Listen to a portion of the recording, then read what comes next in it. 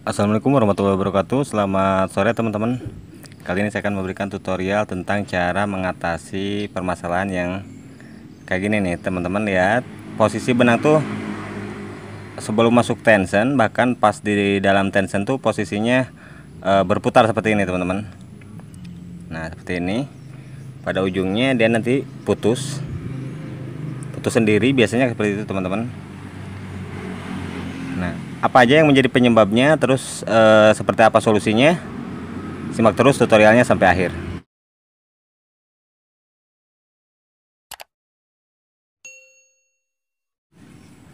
Nah, langkah awal yang harus teman-teman lakukan adalah membuka dulu biar leluasa teman-teman buka dulu bagian blok belakang ini. Buka posisinya seperti ini. Kalau bisa turunkan si stick untuk sepatunya teman-teman. Seperti ini. Seperti ini teman-teman.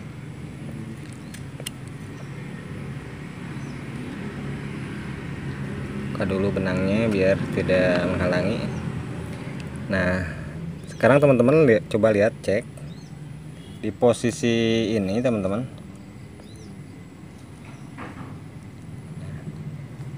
Teman-teman lihat ini uh, udah banyak luka banyak luka seperti ini teman-teman. Nah ini adalah penyebab dari benang menggumpal. Terus lihat di bagian atasnya juga. Nah seperti ini.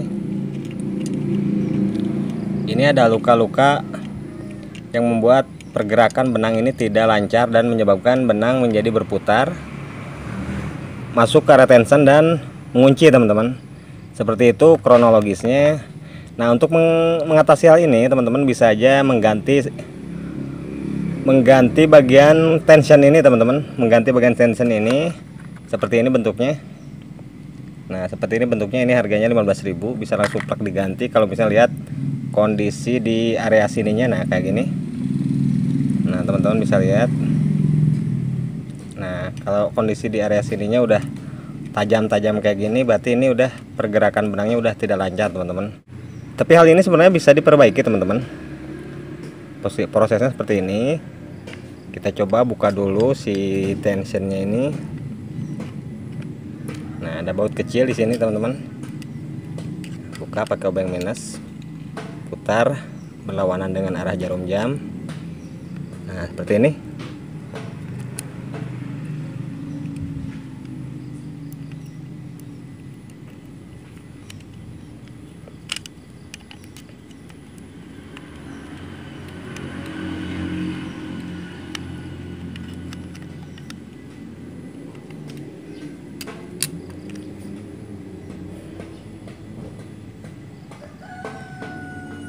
teman-teman bisa diusahakan ini bisa di sebenarnya masih sebenarnya masih bisa disiasati teman-teman.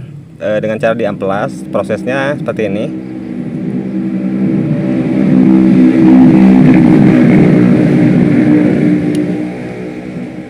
Nah proses seperti ini teman-teman buka dulu si tensionnya. Buka satu persatu. Nah seperti ini.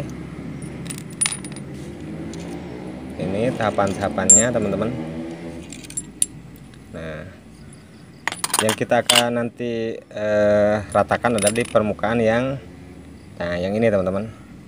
Yang ini juga di bagian blok. Nah yang ini pokoknya ini alur-alur masuk benang.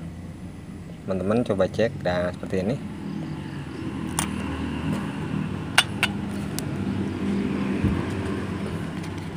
Sini saya pergunakan eh, amplas yang cukup kasar teman-teman. Banyak di toko material.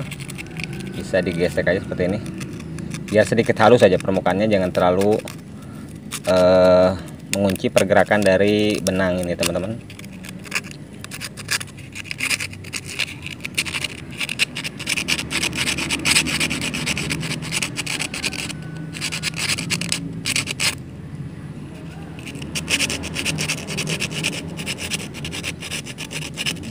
seperti ini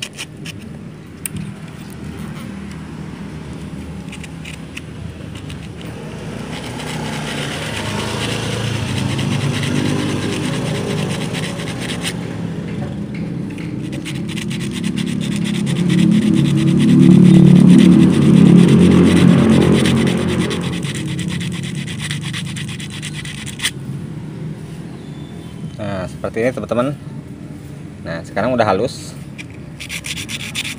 Nah. Ya seperti ini teman-teman. Jadi permukaannya udah halus. Terus teman-teman periksa di piringan tensionnya ini. Kalau misalnya ada goresan-goresan seperti ini teman-teman bisa dihaluskan pakai amplas yang halus teman-teman.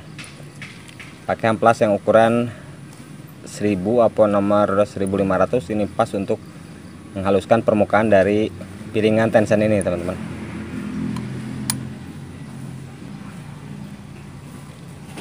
Nah untuk tension teman-teman bisa pergunakan amplas yang halus kayak gini. Terus gosok seperti ini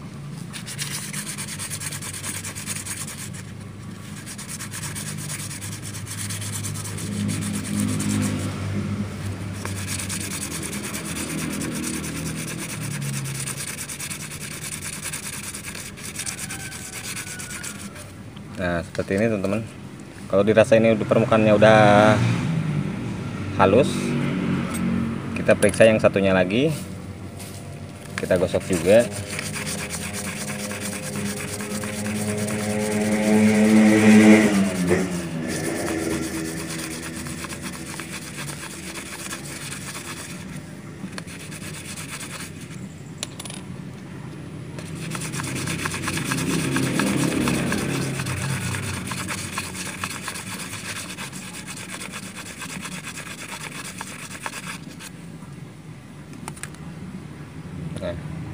seperti ini teman-teman.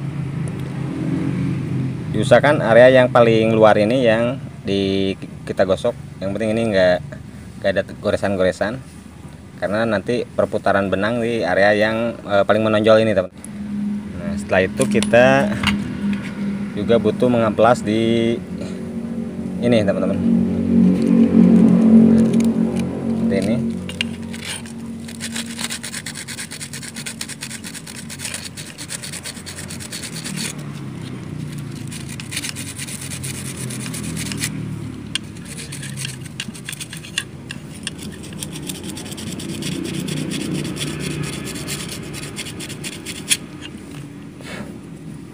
Nah, seperti ini teman-teman. Yang penting ini tidak tajam aja. Yang penting ini area ini tidak tidak tajam. Tidak menghalangi pergerakan dari eh, peng, apa, penarikan benang jahit bagian atas ini, teman-teman. Nah, setelah itu teman-teman, kalau misalnya tension tadinya dirasa kotor, nah setelah itu teman-teman bisa bersihkan di area-area tension ini pokoknya ini kalau bisa dibersihkan area-area yang banyak debu. Kalau bisa pakai thinner atau bensin. Nah, seperti ini. Pokoknya semua area-area ini kita bersihkan dulu teman-teman. Biar pas kita memutar untuk melonggarkan atau mengencangkan ini lancar pergerakannya. Nah, seperti ini. Kalau dirasa terlalu banyak kotor apalagi udah kotorannya udah melekat kuat teman-teman bisa mempergunakan bensin atau thinner di sini teman-teman. Nah kalau dirasa udah bersih tinggal sekarang kita proses pemasangannya. Teman-teman bisa lihat bisa cek. Pemasangan awal untuk tension kalau kita bongkar seperti ini. Kalau kita bongkar seperti ini teman-teman pasang dulu yang bagian dalam ini. Patokannya yang yang dalam nah ini yang ini yang ini teman-teman. Nah yang ini harus masuk. Nah kelihatan kan? Nah seperti ini. Dia harus mengunci di sini. Jadi jangan sampai begini. Dia harus begini. Nah nah seperti ini. Nah, seperti ini. Disusul sama piringan tension satu piringan tension piringan tension kedua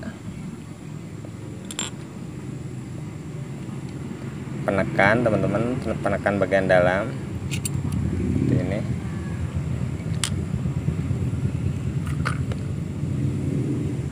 Terus teman-teman kasih per.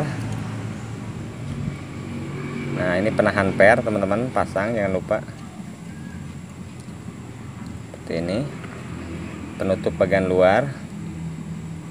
Nah seperti ini baru uh, mur bautnya kita pasang. Tekan dulu bagian penahannya biar masuk. Nah seperti ini. Nah seperti ini teman-teman. Seperti ini proses pemasangannya. Kalau patokannya yang ini aja. Kalau masang awal patokannya yang ini yang bagian bawah ini. Seperti ini.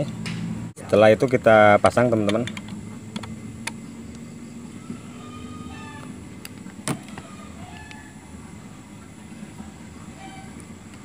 ini.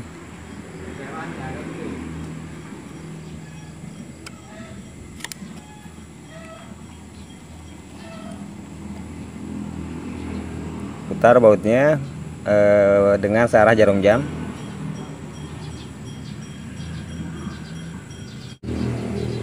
Nah kalau proses pemasangan teman-teman lihat ini posisi eh, sepatu stick sepatu itu harus ke bawah seperti ini karena kalau ke atas itu eh, menekan ke area tension ini teman-teman. Tekan ke bawah. Setelah itu kencangkan. Kalau dirasa udah kencang berarti ini udah teratasi teman-teman. Nah seperti ini prosesnya. Sekian tutorial kali ini. Semoga bermanfaat. Assalamualaikum warahmatullahi wabarakatuh